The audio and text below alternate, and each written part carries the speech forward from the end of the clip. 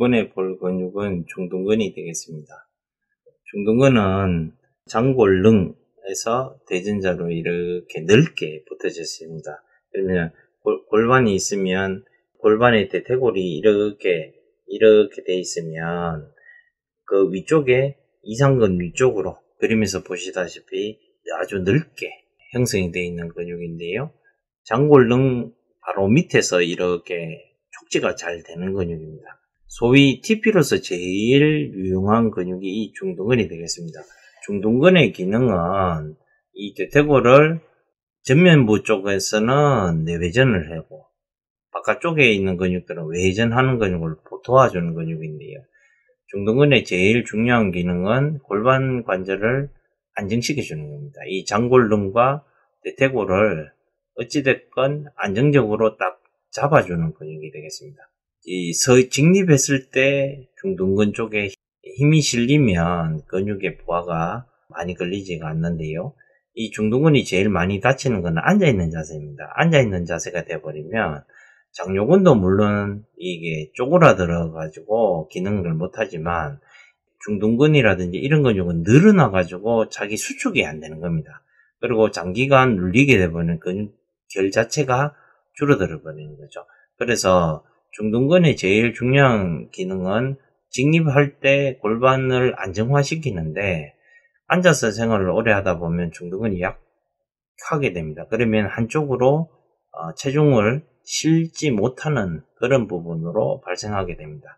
그러한 부분은 나이가 오래, 나이가 좀 많으신 분들 같은 경우에 골반 관절이 힘이 없는 경우, 제대로 서 있기 힘들고 오래 서 있으면 자꾸 다리에 힘이 빠지거나 이런 부분에 대해서 이야기를 하시는데요. 중둔근은 TP1, 2, 3가 있는데요. 젊은 사람 같은 경우에는 TP1, 2, 3가 되게 중요합니다. 특히 이 TP3번 같은 경우에는 청골 쪽으로 통증을 만들어냅니다. 그리고 TP1은 이상근과 통증 TP 양상이 거의 비슷합니다.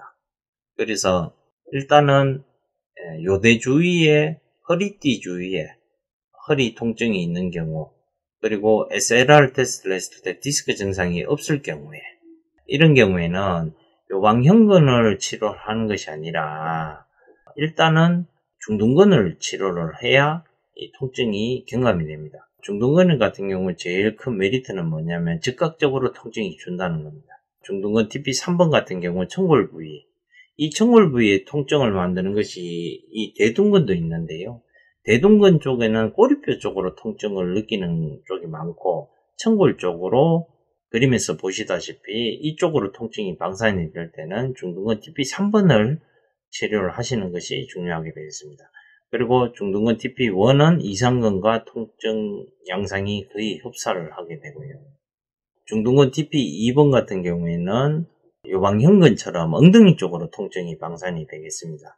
그래서 이상근과 중둔근 1, 2번, 중둔근 TP3번 같은 경우는 좀 별도로 이렇게 이해를 하시고 앉아서 생활하는 분들 중에 청골 부위나 허리띠 주위에 통증을 느끼시는 분들 같은 경우는 TP를 치면 통증이 경감되는 유용한 방법이 되겠습니다. 이상근이 중요한 게 이 부분이 일단은 이게 잘 분리하기가 쉽지가 않아요. 각도만 잘 맞춰가지고 이렇게 분리만 하면 돼. 자, 봐. 이제 중둔근. 음. 네. 중둔근은 이 장골뼈, 장골, 장골뼈 중에 제일 높은 곳에서, 높은 곳에서 쭉 내려와. 자, 자, 봐. 지금 봐봐. 장골뼈가 이렇게 전개돼 있거든. 음. 아, 이렇게 생겼잖아. 음. 그지? 이, 이상근 위에, 이상근 위에 중둔근이 이렇게 있단 말이야. 이상근 위에요? 그치. 이상근하고 분리된 위쪽에 있다고. 아, 그래서 이렇게 있단 말이야. 음. 근데 보면, 여기 분리가 돼. 음. 이 뼈에서 보면, 이만큼씩 이래가지고 둥둥근이 그대로 들어가요. 소둥근은 여기서 요렇게 들어가 있거든. 소둥근은 요렇게 들어가 있는데, 지금 중둔근이 이만큼 이렇게 들어가요. 장골뼈에서. 그래서 일단은 확인하는 거는 장골등 제일 높은 쪽에서, 그래서 요 가운데로 요렇게 타고 내려와. 내려오면, 반대 손가락, 반대 손가락. 여기는 근육이 도톰해지기 전에, 네, 여기 딱 걸리거든. 여기서 중둔근이 들어가. 잠깐만. 이게 TP가 작아요? 손잡아. 여기서 이렇게 이 중등근은 2, 2번, 1번, 3번이야. 음. 제일 중요한 거는 이 3번이 청골 쪽으로 통증을 만들거든. 음. 찌르는 건 쉬워. 이렇게 와서 골반뼈 쪽이 벗겼기 때문에 가운데 와서 찌르고 2번 찌르고 그다음에 3번 찌르고 1번은 이상근하고 통증이 거의 비슷하거든. 네. 그건 뭐 이상근 치료할 때 중등근 1번 치료하면 2번 한쪽 잡아. 아니 뼈 위에서 잡아. 그래서 톡톡톡 가운데로 내려. 그렇지. 어.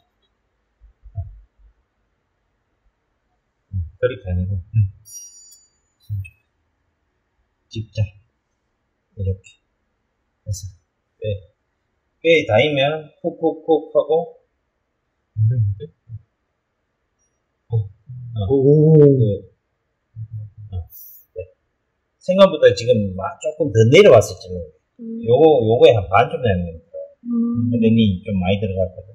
그래서 중등근 2번 했지? 응. 응, 중등근 3번이 청골 쪽에 등중이야. 여기서 요렇게 눈썹 그리듯이 잡아. 요렇게 그리는 거야. 응. 요렇게 그려서 요 바깥쪽으로 요렇게 와서 어. 여기서 통통통통 와서 이렇게 해서 쭉.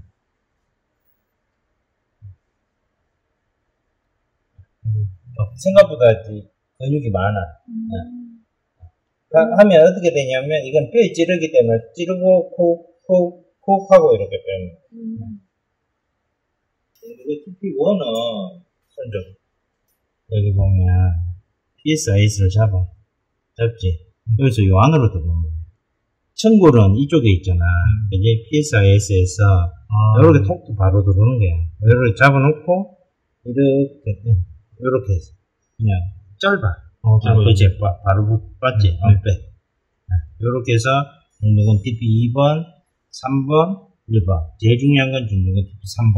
뭔가 이번 3번이 이게 앉아있어, 오래 앉아있고 나서 엉덩이 쪽이 아프다 할 때. 음. 그러니까 꼬리뼈 쪽으로 아프다 하는 게 이 좁은 디스크 신경, 신경 쪽으로 해서 천추 1번 쪽으로 오는 것도 있지만, 젊은 사람들 같은 경우는 중등근 너무 오래 앉아 있어가지고 오는 통증일 수도 있거든. 어, 그렇게 되지.